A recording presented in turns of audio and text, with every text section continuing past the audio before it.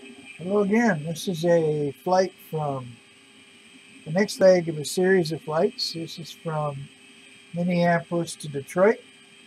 Again, I will be using the 3D view once we get things going here. And we will be uh, pushing back momentarily. I'll be filming or videoing the departure out of Minneapolis, the arrival into Detroit. And uh, if anything significant happens in between, we will turn on the video for that. So we're getting ready to push back now.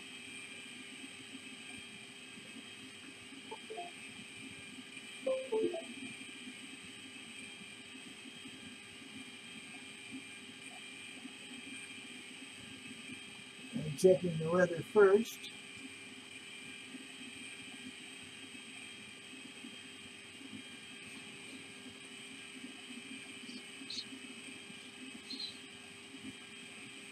Altimeter is 3026, which we're setting right now. And the winds are 305 knots, so we're going to be taking off to the north to the west today and then turning back around to our first waypoint, which is called Taxi, T-A-X-E-E. And so we should be ready to go here shortly.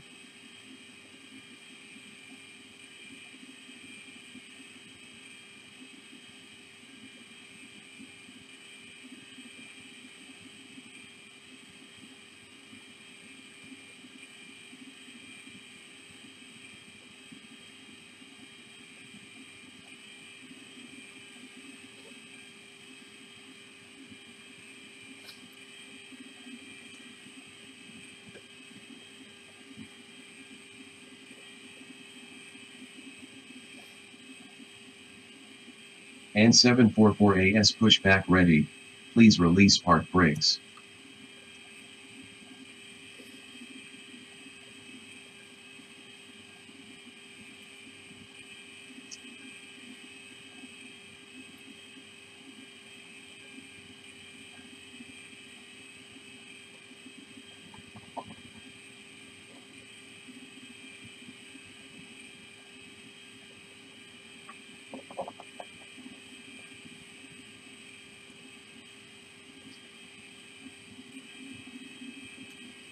Nice view of the Minneapolis terminal and look at the clouds over it. Uh, the weather radar here does show some active weather, so we'll see what we get when we get up.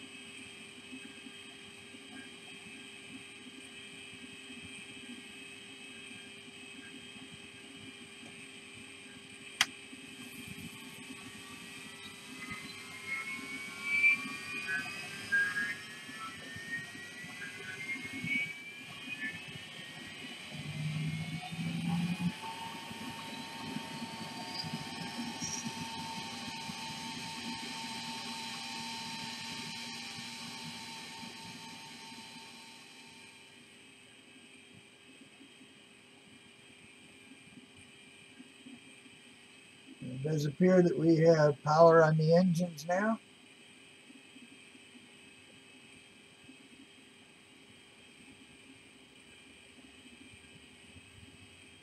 And we should be ready to taxi shortly.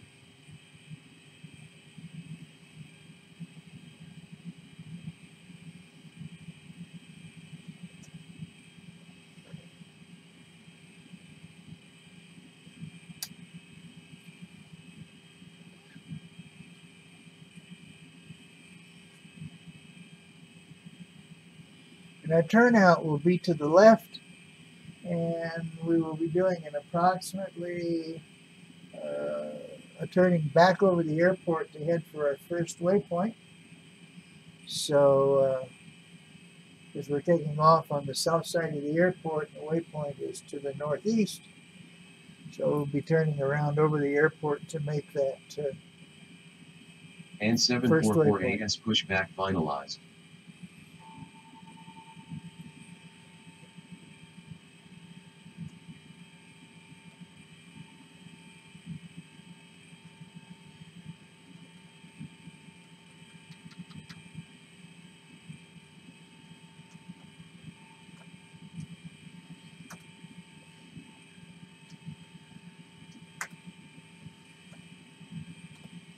Announcing our taxi to runway 030 left, and we should be moving here momentarily.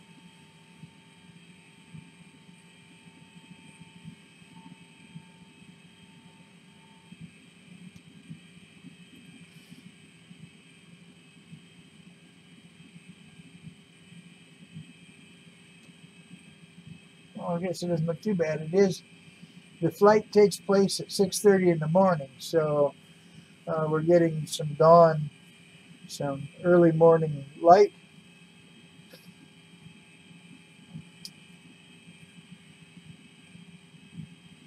And again, since this 3D view has no panel, I'll be using my instruments in order to make this work.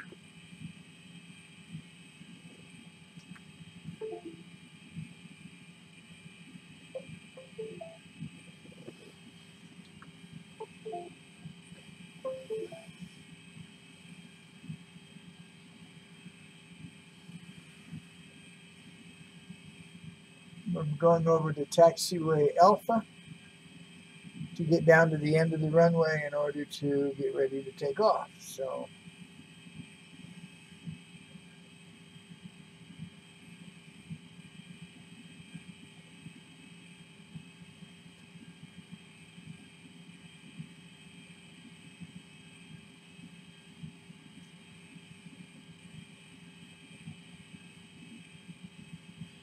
changed the uh, settings on the camera a little bit to try to get a little better picture off of the monitors. It, yesterday it was pretty white out and so I changed some of the uh, settings on the camera to try to get a little better picture um, and a little better color as we travel. So hopefully this will make it a little better and easier to see and bring out a little more detail.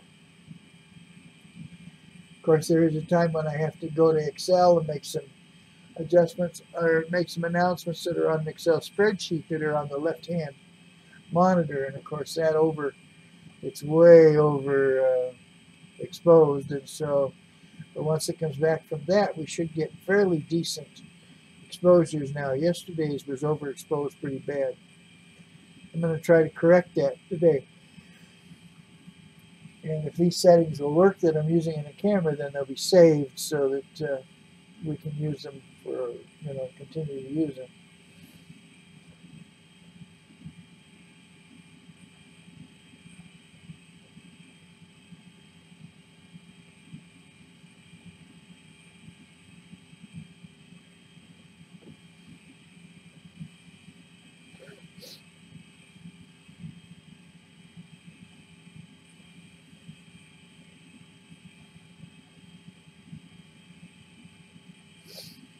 I don't know if you're enjoying these videos or not. I hope so. Uh, I have uh, I spend I enjoy this flight simulator quite a bit. There's a new version of it out now called X-Plane 11, which I may be forced to get here pretty soon because of uh, support elements for the X-Plane 10. Maybe not being available anymore. But when that time comes, then I'll invest in the X-Plane 11. In the meantime, I'll stick with 10. Because I do like the program a lot. And uh, X-Plane 11 would mean re-downloading a lot of uh, the programs again that would make it work. So I'd rather stick with what I got for now. I hear it's a great program. It's a much better program than 10, which is hard to believe. Uh, it may have some better uh, airplane cockpits and so forth. But uh, I'm happy with what I got so far, so that's what we'll stick with.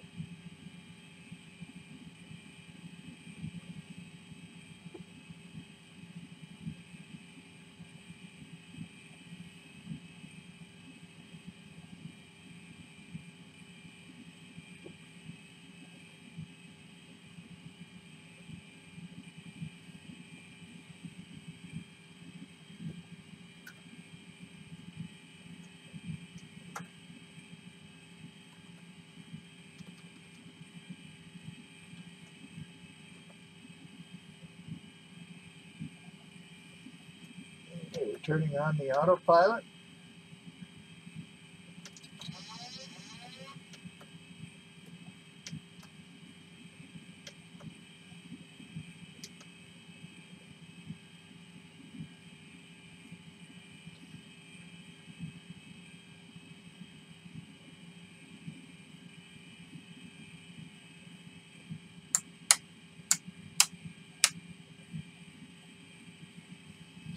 And we should be rolling momentarily.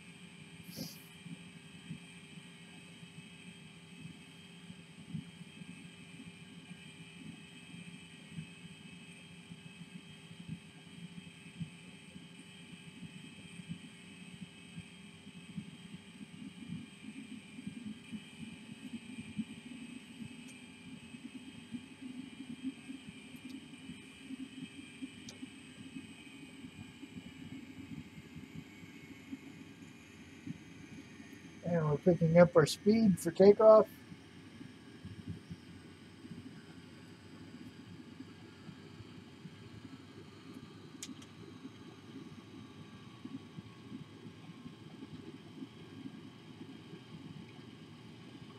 This plane works a little different than uh, some of the other ones. The autopilot in it is connected a little differently. So hopefully it'll work for us and we'll see what happens. We're at 100 knots. At 120 knots, I'll go ahead and try to get see if we can get it off the ground. That's a good sign.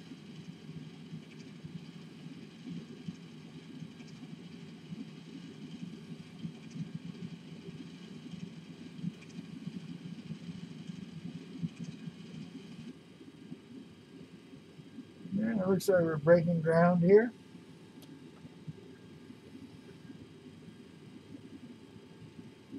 Gear up.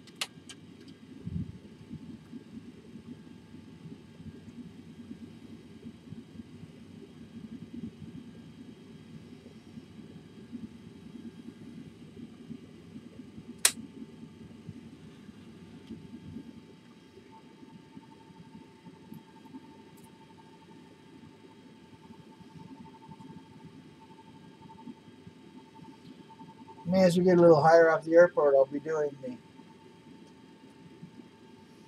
turn to the left to bring us back around to get us to our first waypoint.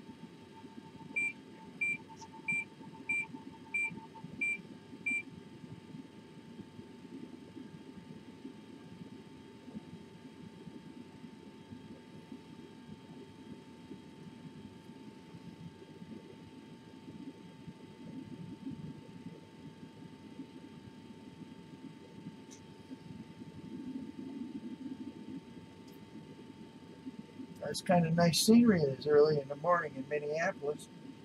I hope you can see it as well as I can.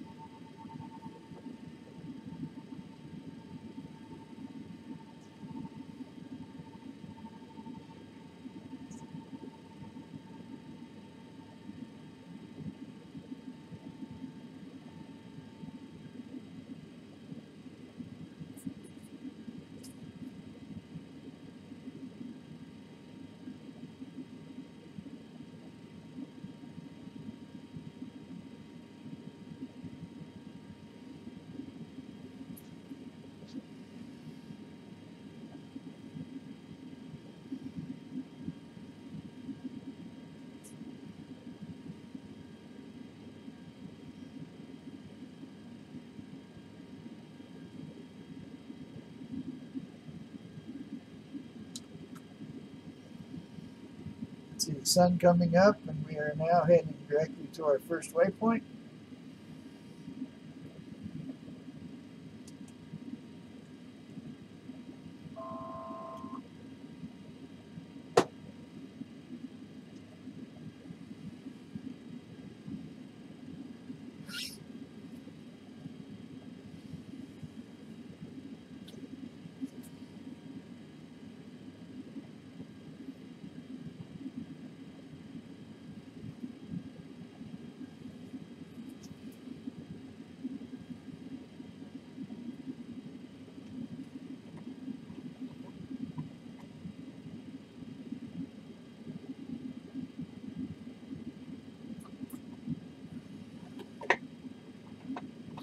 We're leaving on what's called the Colt 5 departure.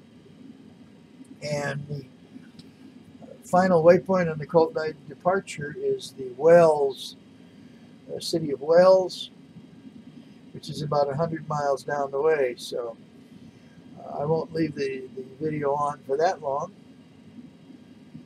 But hopefully you're enjoying a little better of the clouds and the scenery on this one. This looks pretty decent where I'm at. So hopefully it'll look a little better for you now that I got things set a little bit better on the camera. Maybe it'll be, it'll show up a little more dis distinctive.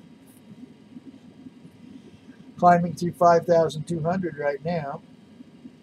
Once we reach 10,000 feet, I'll probably turn off the camera, at which point I'll be increasing the airspeed of the airplane and heading us for Detroit. Scheduled time or scheduled time en route to Detroit is uh, an hour and 40 minutes.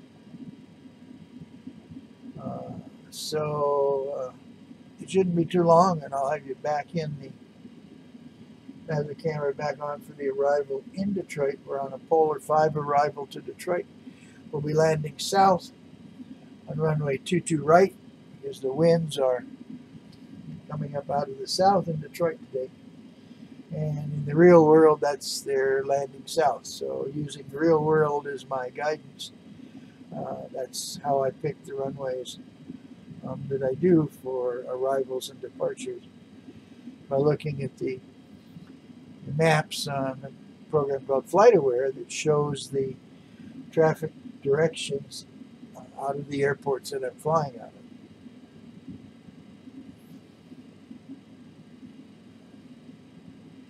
We're climbing right now at about 900 feet a minute. We're passing through 6,300 feet. For, I think our final altitude is 10,400. So reaching the 10,000 mark, I will turn the camera off. And I'll bring it back on. If there's any significant weather, we'll bring it back up. Otherwise, uh, it'll be on the arrival into Detroit.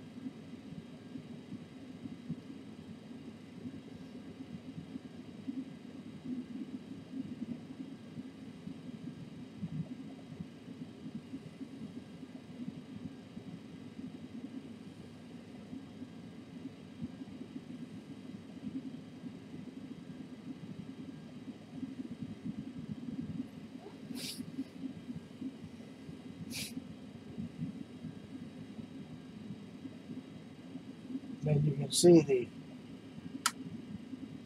glare of the landing lights on the clouds even though it's uh, it's late it's not quite completely light yet so landing lights still reflect off of the clouds as we climb up to our altitude uh, we climb up to 10,000 feet where I turn off the landing lights at 10,000 feet and I'll increase the airspeed from 250 knots to 280 knots for the trip to Detroit.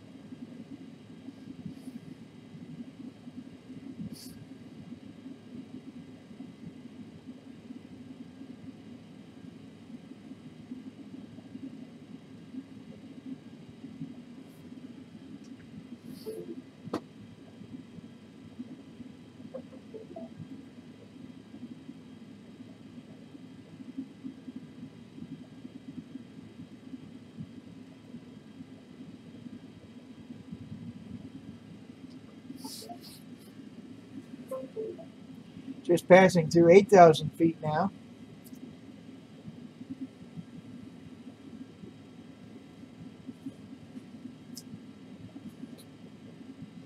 We're just about broken through the top of the cloud layer. See, there's a few more up ahead of us yet. They're a little higher. We've got to go through yet.